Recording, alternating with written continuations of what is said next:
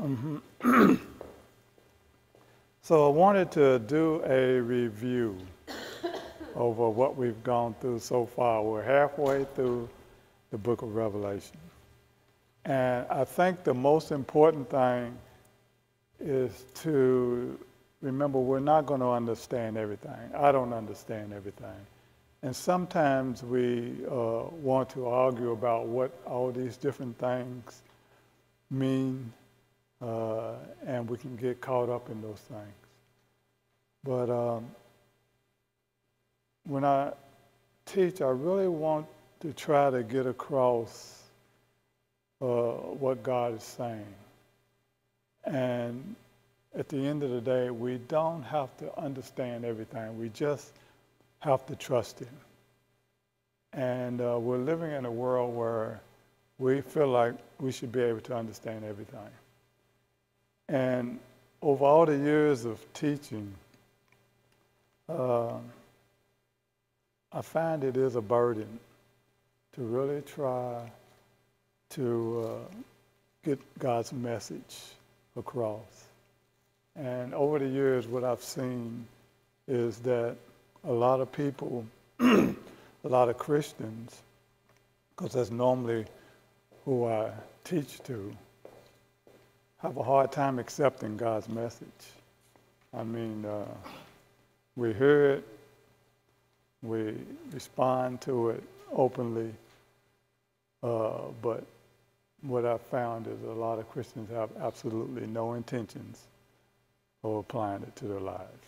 And um, that's what I've experienced over the years. And uh, the one bringing the message is usually the one that we uh, dislike the most, right? You know, it's like if we can kill the messenger, then that will destroy, take away the message. You know, it's almost like if we shoot the mailman, there'll be no more bills, right? so uh, I really try to, I want to present the lesson in a way that's just really simple. And what I found also is that in this 21st century, there's all sorts of teaching. You can go on YouTube, uh, you know, you turn on the TV Sunday morning, and there's sermon after sermon after sermon after sermon, and uh, we're inundated with information. And uh, this one guy says he's right and he's wrong, and it just it's back and forth, isn't it? And you don't really know what to believe. And I think what has happened, we have a generation that has turned off to all of it.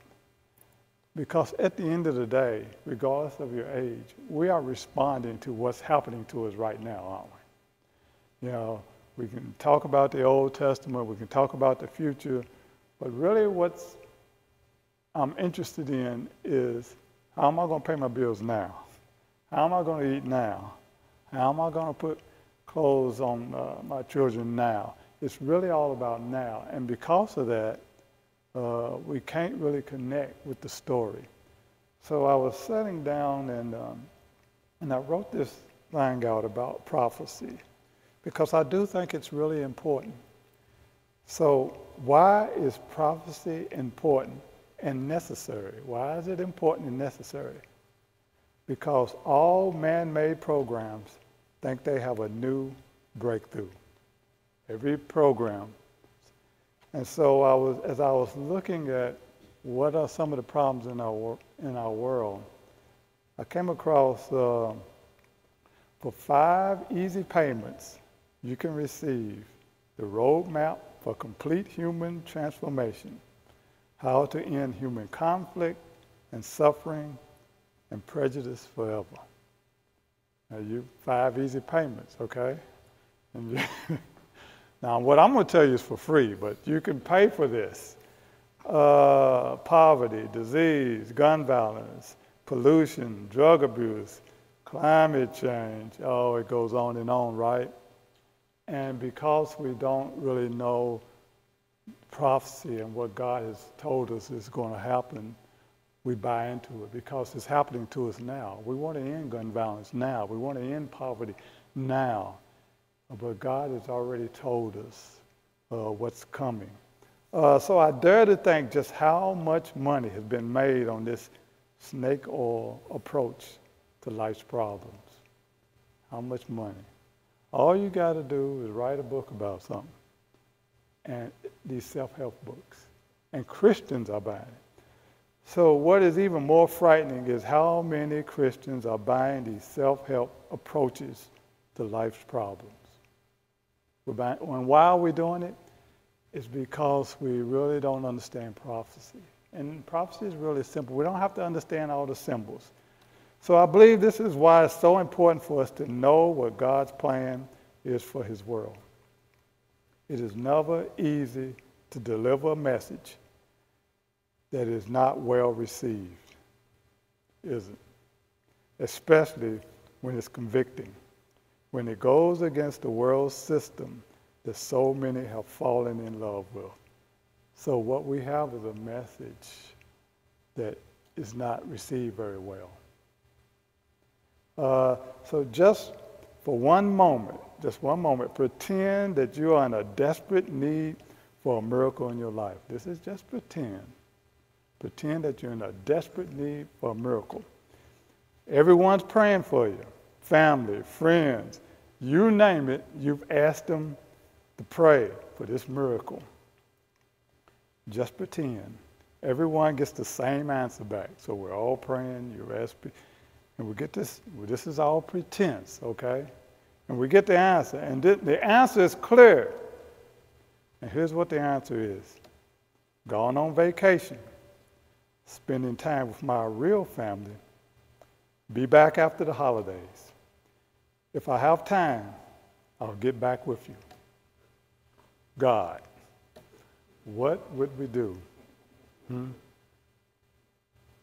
Uh, aren't you glad God doesn't wander off as we do? Or when we're in trouble, we're crying out to Him, right? But when times are good, we really don't think about it. Why is it that we only expect God to be obedient?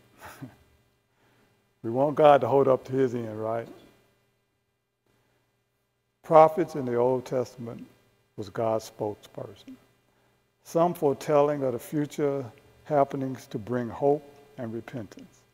That's what this prophecy, that's what prophecy is about, bringing hope and repentance because we're seeing uh, where we're wrong and we need to turn. The prophets stood boldly relying on God's message. Today we should pray to God to help us to listen to his word with reverence. What's reverence? What is that? I want to be obedient. I respect his word. I'm listening. I want God to help me to understand that. Uh, I think it's in Ecclesiastes. It says the whole duty, the whole purpose of man is to fear God and to keep his commandments. You want to know what your responsibility is? You want to know what God wants of us? Fear him, to reverence him. And that's what we should pray for, that we would reverence his word. It's never easy to deliver a message that you know is not going well, not going to be well received. And when even your own rejects it, it's even harder. The prophets went to their own people and they rejected it. Some of them were, were even killed and stoned. But what about today? You sometimes find yourself standing in the middle of the road of compromise, wanting to be a part of something that you know deep down inside is really going nowhere but you're there just because. If you find yourself in the middle of the road of compromise, around family members that you really love, they don't believe, not for one moment. And they really don't want to hear what the Word of God says. Prophecy gives us hope, protects us from the snake oil salespeople of this world trying to tell us they can fix everything. Trying to tell us they can fix everything. If they could fix everything, okay, here's my wish list. I wish they would start in the hospitals with the terminally ill. You know, we come in here, we, we brave the cold, but there's a lot of people that are still stuck in bed. But there's a lot of people in the hospitals. If you don't believe it, just take a visit over there, praying over their loved ones, hoping that they will get well. Uh, so if they could fix everything, would they fix that? What about the sick and the shut in? There's a lot of people, members of this church, that are sick and shut in. They can't assemble with the saints like we can, but we take it for granted. We show up when we want to. Uh, the, the physically disabled, the homeless, the bandit children, endless violence, and the list goes on. If they could fix that, why won't they? Why don't they? Because they can't. There's only one person who can, that's Jesus Christ. So why do we buy into this world system? Why do we buy into this snake oil? We can fix it, we can do it. Because we know the message we have is not well received by this world. And I think that brings a fear to us, doesn't it? We're taking a message to people that really don't want to hear it. It's funny, we were uh, over to my mother's and we were talking about something, and um, I was, that look in her face is like, okay, here comes a sermon. yeah, because we, you know, I love my mother now. you got the mom. yeah, I love my mother, but I cannot go against the word. I just can't do it. I can't. I don't care who you are. And so, as I started to speak, she got that look on her face because she said, Here it comes. the Word of God is powerful. And there is one day we will have to give an account. Romans 10 3, chapter 3, 10 through 12 says, There is none that understands or seeks after God. Nobody. That's why we don't really care to take this message to the world. Because they don't understand and they don't seek after Him. But what about us? Well, the statement says none. It says none. That's right. It means so. Then, how are we going to overcome this if none of us seek Him? Well, what God did, because He had a plan, He deposited the Holy Spirit in us, and the Spirit is to guide us, lead us, and teach us. But then we have to exercise our faith. There's a dirty word, isn't it? We have to exercise our faith.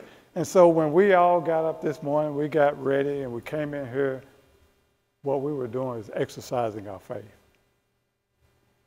I heard a preacher say, he said, uh, his wife uh, said, you hear that thunder? And he turned to her and said, no, that's not thunder, honey. That's millions of Baptists turning over in their bed. And you know what?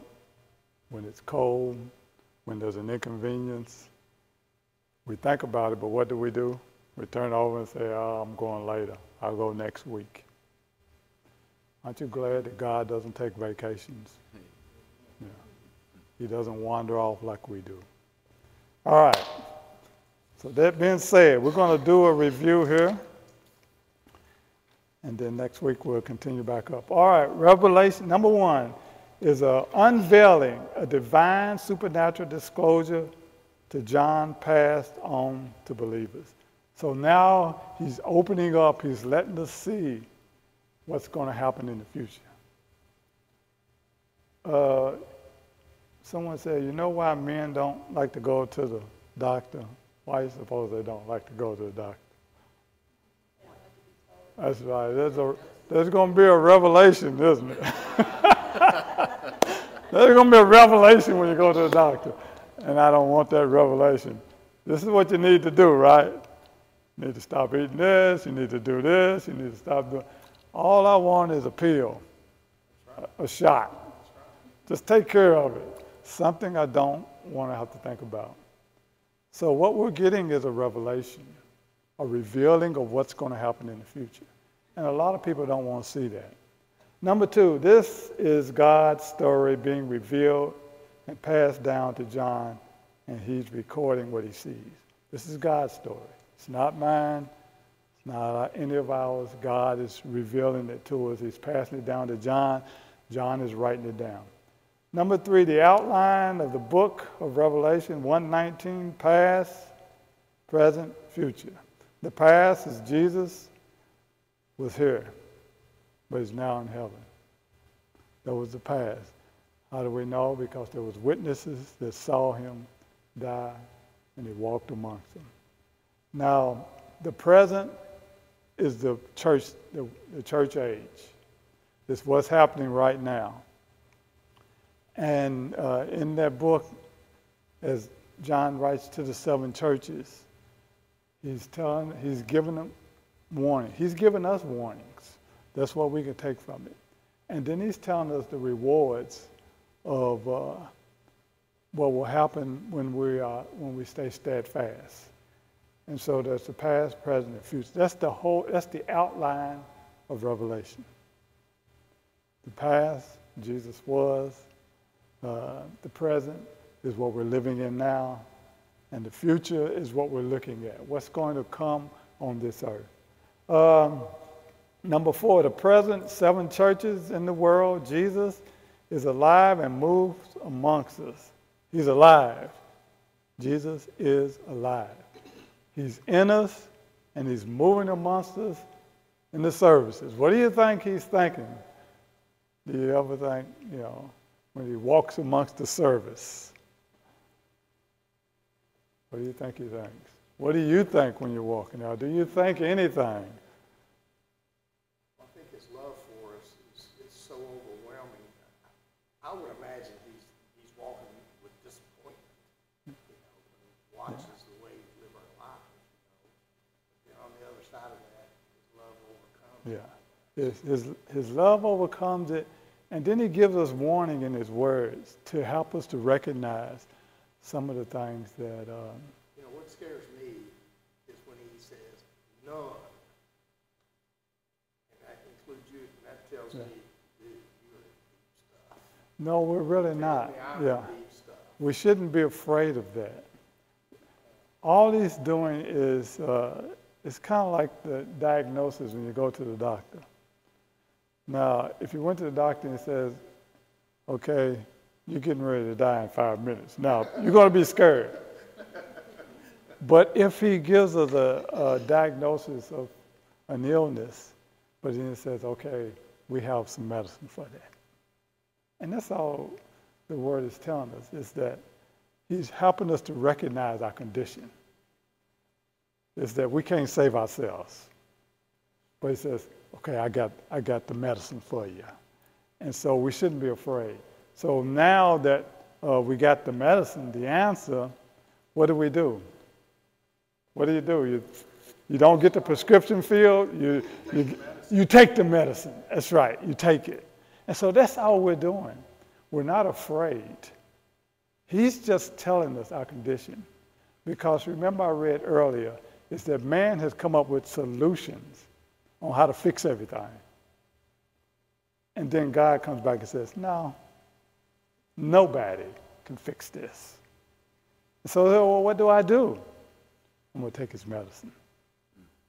And so we shouldn't be afraid. I think when you read the stories of all the people in the scriptures, that gives you a lot of hope. That's right. Even those that were the highest, so to speak, on God's list, Moses, and he was the most humble man on earth, there was a time he had pride. That's right. There were, there, they all made mistakes. That's right. But, but we, as it says, you know, we've all sinned. That's right. Short, so God understands that. All have sinned. All have sinned. And um, we want to. David's life. I mean, yeah. That gives me a lot of hope. Yeah. I think the thing I struggle with the most is what we have a hard time understanding. And, uh, you know, my grandson, you know, goes to church here and he is thinking about being baptized. And um, so I wrote a little book. I told him, I've been said I was going to write a little book, just simple. And uh, it just breaks down everything. And I gave it to him at Christmas.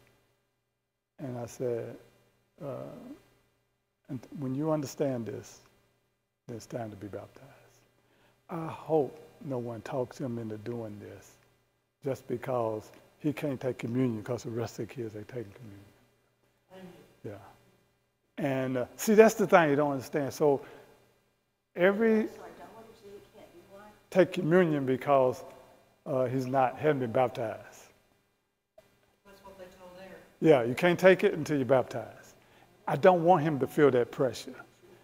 Yeah, and so um, see, I didn't know that until uh, you know we were sitting in church and they were passing the communion. He says, "Well, I can't take it." He said, "Because I haven't been baptized." But the book I gave him just breaks down everything. What is the gospel? What is sin? You know, what is a Christian? Why be baptized? You know, those are simple questions, but you know, a lot of Christians can't answer that. Yeah, it's just a little simple book. It's, and it's, uh, most of them have just a few words on each page. And then there's blanks to fill in. Do you believe this? You know, he said, Well, Grandpa, can I write in this? I said, It's your book. Yeah, yeah. But the thing is, understand it. Because what we need is soldiers in the battlefield. And uh, you remember the story of Gideon. Oh, if you just have a lot of people, right? God said you got too many. You got too many. And um, children are safe, okay? Let them be children. What we need to do is protect them. And um, there will be a day that they'll have to be accountable. But I, I believe they're okay. Let them grow and be children. And uh, because um, it's just like the military. Uh, you can only go in there at a certain age. They're not taking children, are they? And uh, they're going to make you become a man or a woman pretty fast. Huh? Yeah. Yeah. But that's the thing is we should not be afraid. We're not afraid. And remember the scripture that Paul writes to Timothy. He says, God has not given us a spirit of what? That's not, fear is not from God. It's not. But the world uses that, doesn't it? It wants us to be afraid. If you don't do this, you're going to die now, right? But if I understand the word of, of God, we're going to live for eternity. And this life here is just very short compared to eternity. We should not be afraid. All right, enough of that sermon. Uh, which one were I, where are I, Steve? Help me out. Number five, future, the cosmic crisis and the removal of the true church from this earth. There's going to be a cosmic crisis, and that's what we've been looking at. All the supernatural things that's coming on this earth. Uh, but we, as a people, are rejecting that because it's all about the now, what I'm experiencing now. I don't want to hear about what's in the future. I've got to eat right now. Uh, but understanding prophecy gives us peace. Number six, what has happened or what has not happened yet is now being told how it will happen in, the, in advance. What hasn't happened yet is being told to us. You don't have to look at your horoscope. You don't have to go to a palm reader. God is telling us what's going to happen. Isaiah 46:10. I make known the end from the beginning. From ancient times, what is to come. I say, my purpose will stand, and I will do all that I please. His plan is going forward, whether you want to uh, dismiss it or not. It's going to happen. And uh, I like what Solomon says lean not on your own understanding. And that's so important because if you look at the Bible, really what it is is history written in advance. Now, how, that doesn't even make any sense. Is that everything that God has said is going to happen guess what? It has what? It has happened. History written in advance. So why would we try to change it by latching on to some snake oil sales remedy on how to fix this world? It can't be done. He's already said his purpose will stand. Number seven, a great tribulation is coming on this earth, and God is revealing what will happen. He's telling us. He's telling us what's coming. Number eight, tribulation. It is a cause of great trouble or suffering. It will be the worst time in human history. It hasn't come yet. I know we're thinking that it's here. No, it hasn't. Just because our lives have been inconvenient, yes. Have you all heard, I heard it on TV or someplace, I don't, well, don't remember. Euphrates River is drying up. No. You heard that? Yeah. No, I hadn't heard that. But what's coming out of the Euphrates? What do we study about? You remember? Yeah, there's going to be some spirits come out of there. Yeah. yeah.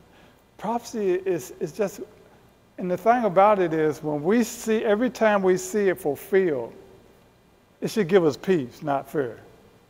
Because all it does is confirm what God is saying is true. And we don't have to be rocket scientists to accept it. We might not even be able to explain it to someone else, but it's the peace that we get from it. All right, uh, number nine. The suffering we are experiencing today is because of man. I don't know. I, you know, we give, we blame God, don't we? Why is God? It's because of us. Satan, or what we put on ourselves due to our sin nature. This is not the wrath of that God will be, that this is not the wrath that will be coming on from God. What's happening now, this is not the wrath of God. This is man stirring the pot, making it worse, coming up with alternative solutions other than accepting Christ. Number 10, the great tribulation is God's judgment poured out on the earth because of sin in the future because of sin. This is God's wrath. Uh, number 11, God is going to judge this world just as he did during the days of Noah. So it's just history being repeated. We're seeing examples of it. What is the purpose of the tribulation? To punish the world, uh, 12 and 12a, to punish the world for its sins. There's going to be a punishment. We don't have to do it. So, what's our role in it right now? Huh? What's the role in now? What's our role Oh, in this role, I'm sorry. in this uh, punishment that's coming? What's our role? Are we to fix it? We got a message that's not going to be well what? It's not going to be well received. Not going to be well received. And I think that's why a lot of times we don't want to give it to people, especially loved ones.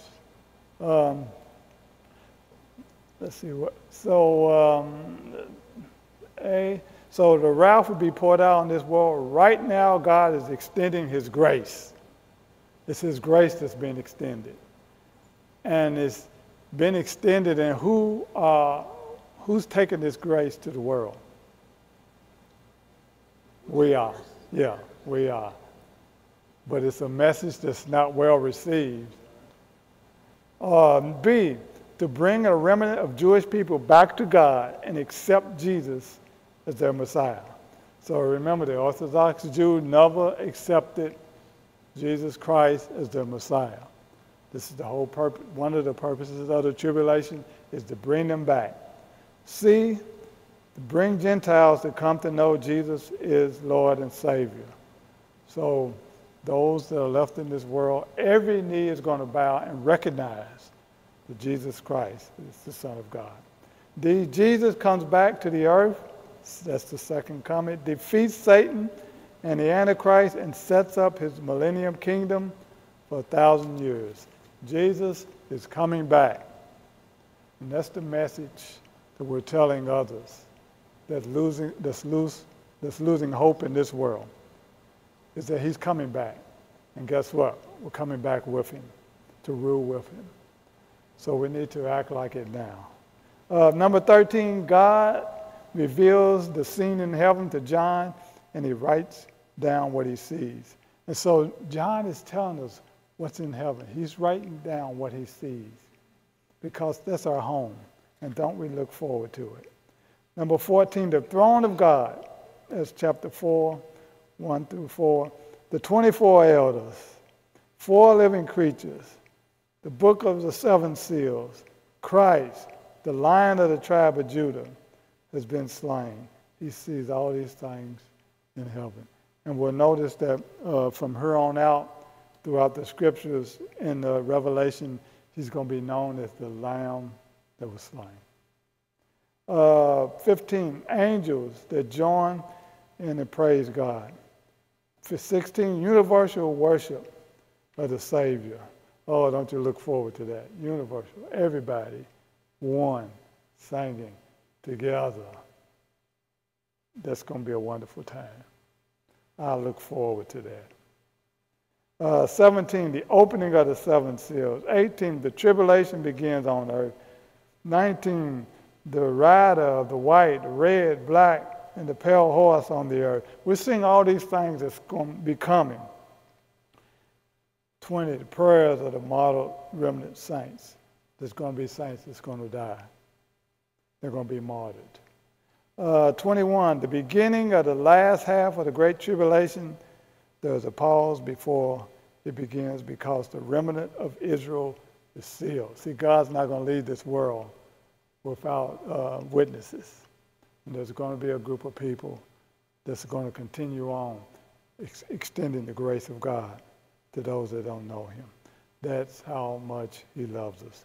21. There's going to be a redeemed multitude of Gentiles that have come out of the great tribulation.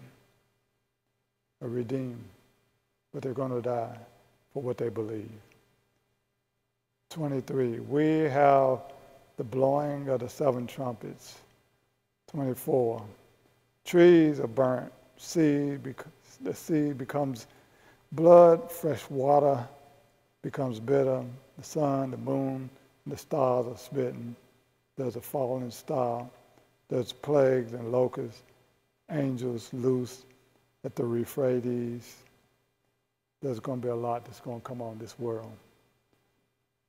We are not, we haven't tasted any of that. We're just being inconvenienced uh, by man's uh, careless, helpless refusal to accept Jesus Christ. Uh, 25, there is an interlude between the six and seven trumpets. 26, the strong angel with the little book. 27, John eats the little book.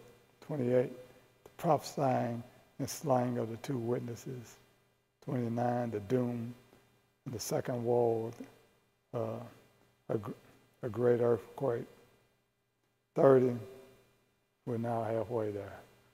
There's a lot that's coming on this earth. But we have a message that's outside of space and time. And um, that message needs to go out there. Uh, you heard that saying always, you're preaching to the choir. You know, even the world gets it. You know, you can only go to school, public school, for so long, and then they kick you out, right? Uh, so you can't be 30 and still in high school. Why not? Huh? Too old?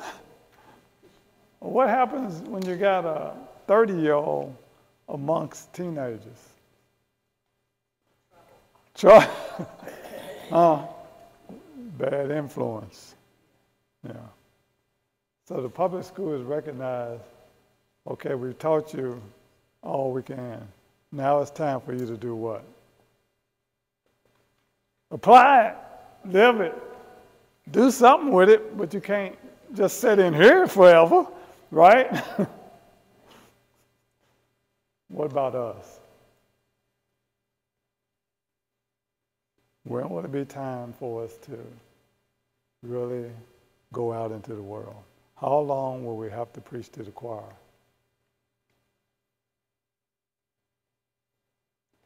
I think that's a, a legitimate question. And um, it's hard to get out of these comfortable seats, isn't it? Yeah. Yeah. Yeah. just looked up this Euphrates River, it says, now that the drying up of Euphrates River is not just a prophecy, but is actually happening today. Along with the drying up of, of the Euphrates River, many ancient discoveries have emerged, and even these discoveries have shocked the world. That was December the sixth, two thousand twenty-two, on the archaeologist.org. Yeah. And what that should do is, yeah, what that should do is make the message that we have more credible. Yeah. And, uh, yeah. And uh, I, I pray that we will one day come up with a strategy on how we can go out there, how we can reach people out there. And um, no, we don't have it all together. And uh, once uh, people get involved in our lives, they see that. All right, John, he's just as messed up as I am. The only difference is I have a relationship with Jesus Christ. And uh, we have to stop thinking that we have to have it all together. We have to have every answer. You know, we can pull out every scripture.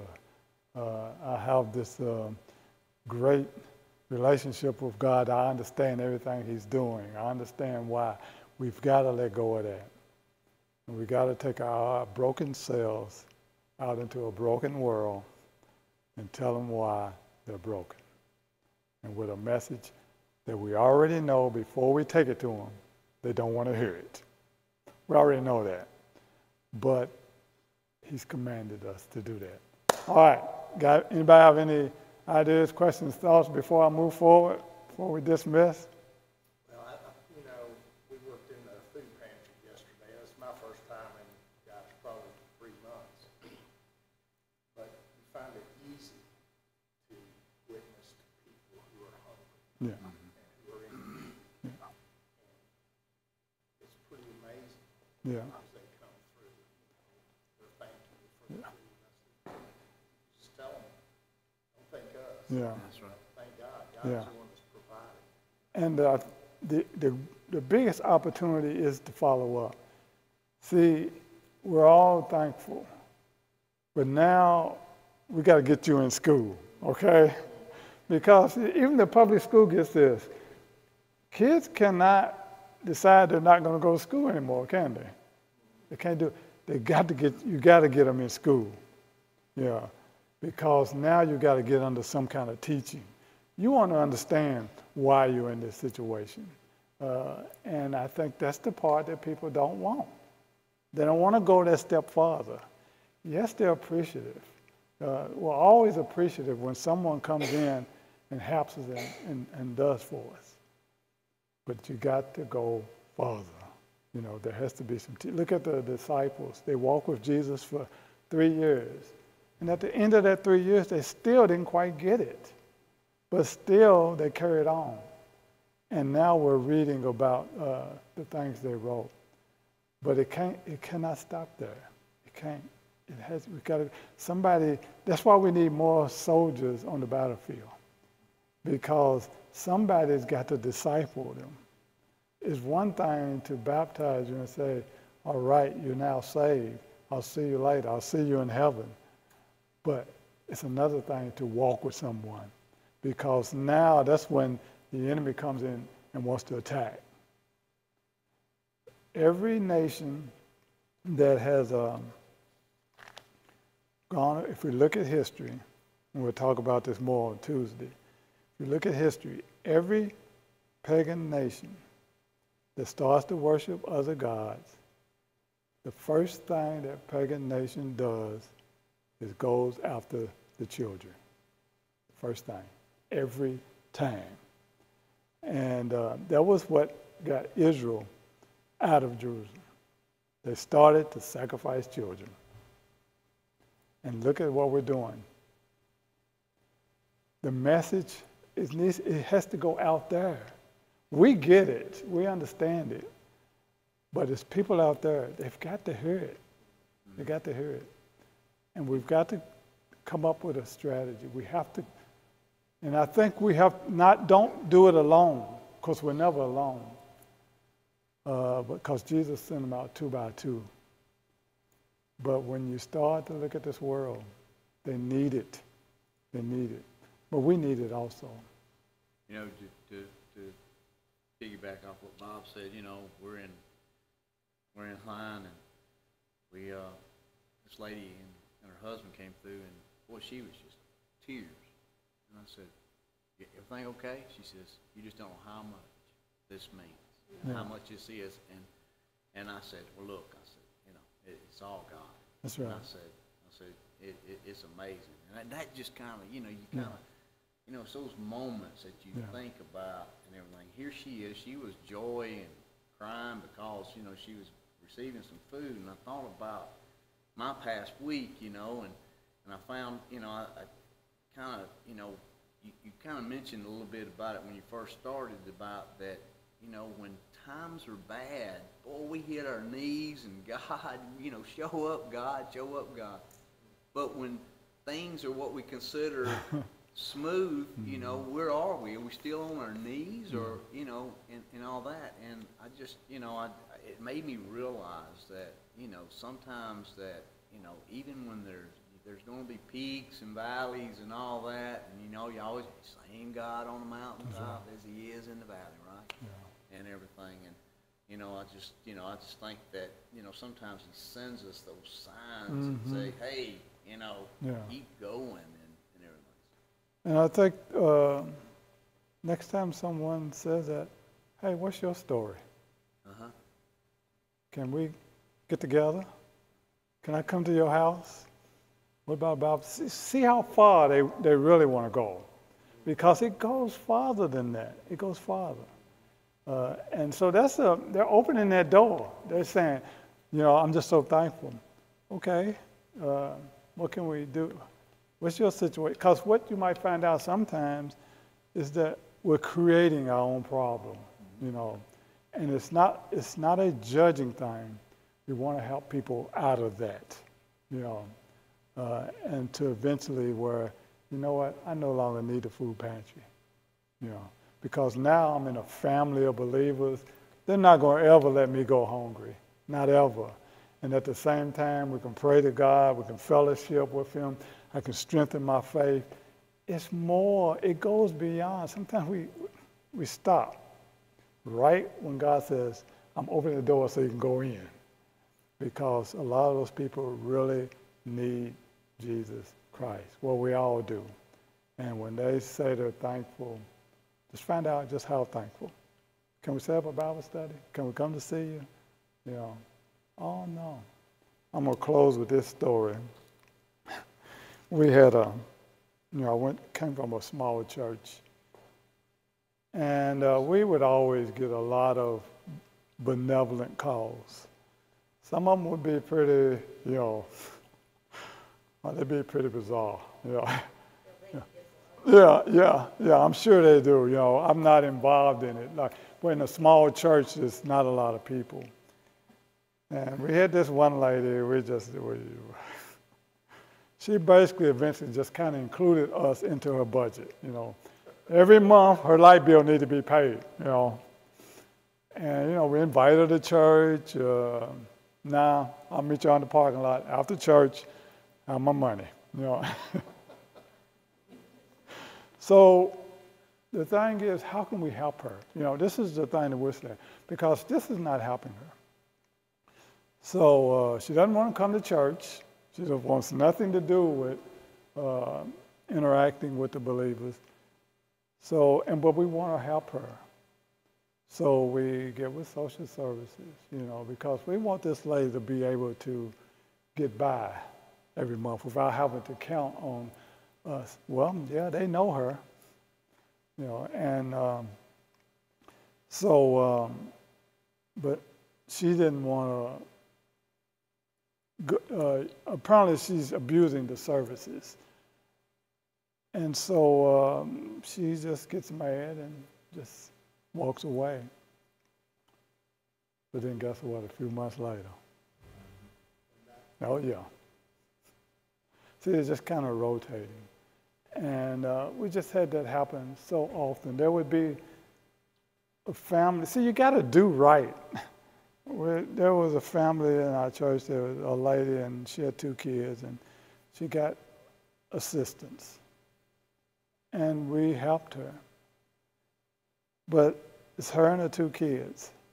So then her mother moves in. So that requires more food.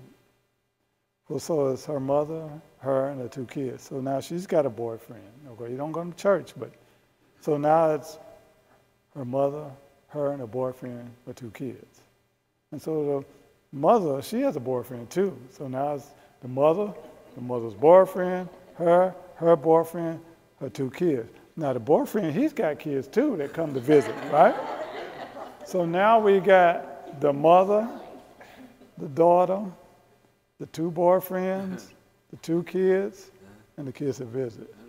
And so it's, it's requiring more resources. Now they're already getting, re- you got to do what's right. See, and that's, you got to convince people you got to do what's right and then trust God. I could just go on and on with stories of people who uh, go to church every Sunday, refuse to get married because they don't get their check cut off. See, they're both getting checks. You know, you know, you know, Jerry, Jerry Murillo always says, our job is to take care of the needy and God will take care of the greedy. Yeah, yeah, yeah. But we want them to understand what we represent. You know, right. we want them to understand what we represent. And if I can get into your life, I'm going to get into it. But we don't want that, do we? Not even a lot of Christians. I don't want you in my life because you're going to see how messed up I am.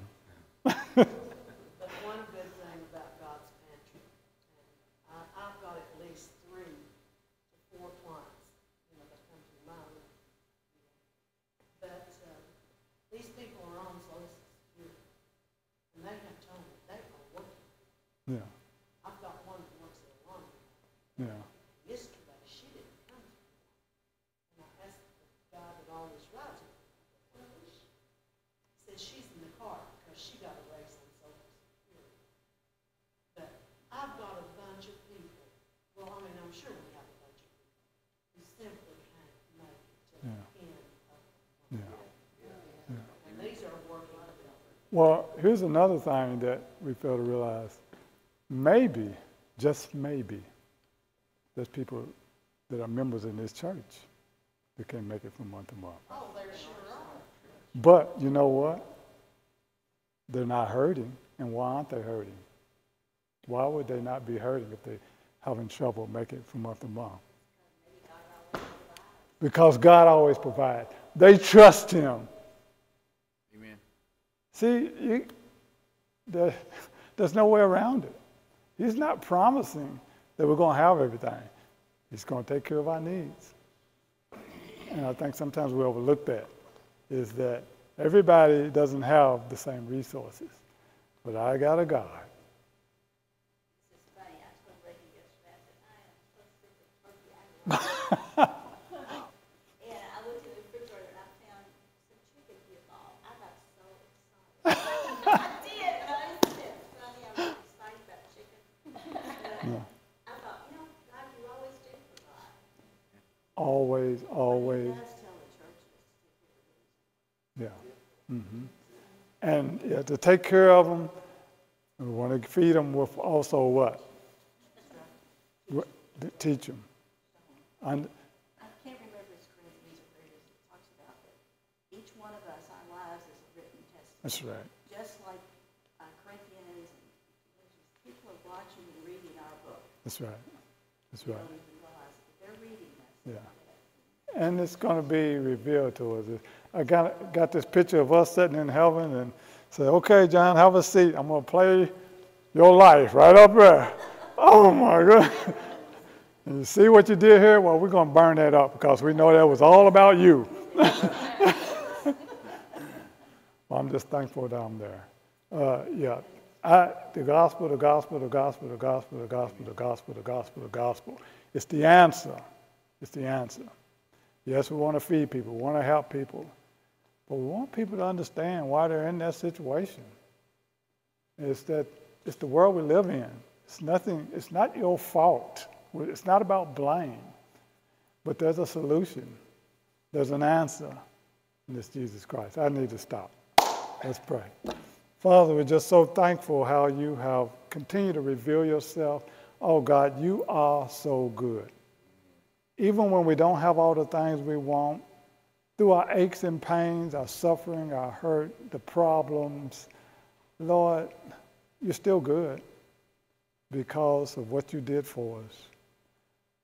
Father, you have a message that the world needs to hear. Would you give us the courage and the boldness to not be afraid of rejection because your son was rejected, to take it to the world? You've already told us we're going to have trouble, but we're resting on your promises. And we're just so thankful for eternal salvation. These times I pray in your blessed Son, Jesus' name. Amen.